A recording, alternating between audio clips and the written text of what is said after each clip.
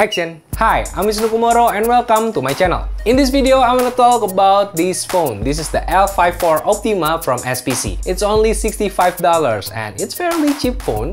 But is it good? For you who doesn't know about SPC, SPC Mobile is Indonesia's smartphone brand and sell budget phones in Indonesia. This is the L54 Optima, the newest phone from SPC. And now let's see the box first. Actually, this is a really nice box. It doesn't look cheap. You can see the main feature here is full view LCD. It's not using LED display, it's only using LCD display and yeah, I know what you think about it. It feels like 2008.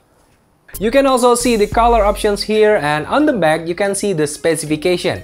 Quad-core 1.3 GHz processor with 8GB of ROM and 1GB of RAM. There's a 5-inch full-view screen, 4G data connection, USB on the go, 8 megapixel front camera, and 8 megapixel camera with autofocus and flash on the back. It's also running Android Nougat 7.0, but it seems like you will not get Oreo update here, so yeah. What do you expect? And now let's see what's inside the box. This is the warranty card. Looks promising. You can see the location of care centers where you can claim for anything happens to your device. And I love the fact that this is the first thing you get when you open the box. Warranty card comes first before the product itself. And this is the phone. Surprisingly, it's small. Even for my Asian hand, it's small. Well, let's put it aside first, let's see what's inside.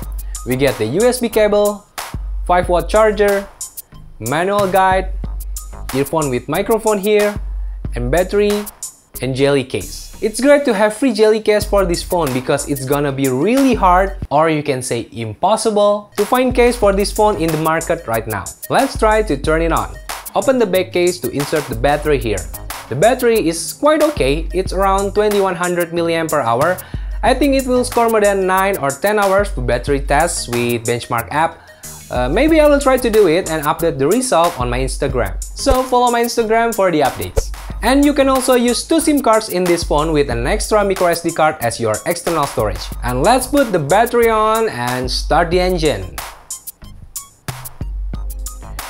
Well, maybe it takes a while, I think.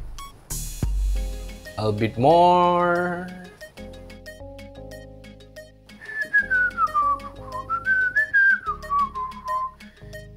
Please wait. Please wait. Finally, it's on. Well, it looks pretty nice. Android stock 7.0 run fast even in 1GB of RAM device. That's cool. And now let's try the camera. The camera is not that bad, but not that good also. The color in the display is a bit off. It looks bluish I think. But maybe for some people, it's still okay. Well, this phone has no fingerprint sensor, no face unlock, only 1GB of RAM. It looks like a 2008 Samsung phone. It brings me back a lot of nostalgic moments right now. But finally, I found something cool about this phone. There's a double tap to wake feature here. It's pretty cool. All you have to do is double tap to unlock the phone. And now we are talking about the screen. It's the main feature here and I think it works well. The colors and brightness is decent, but the speaker is... nah, I don't like it. In general, I think this one is surprisingly good, it outweighs I like the size, it fit well in my hand, but I'm not sure how much things you can do with 1 gig of RAM.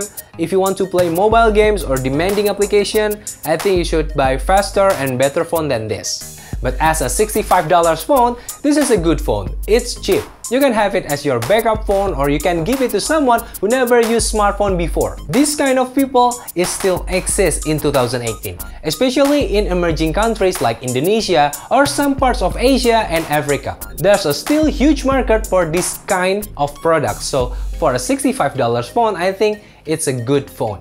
And that's SPC L54 Optima. What do you think about the phone? Please write your comments below. And this is my first full English video. I hope you enjoy it and don't forget to hit the thumbs and subscribe for more videos. And Wisnu Kumoro sign out. Bye!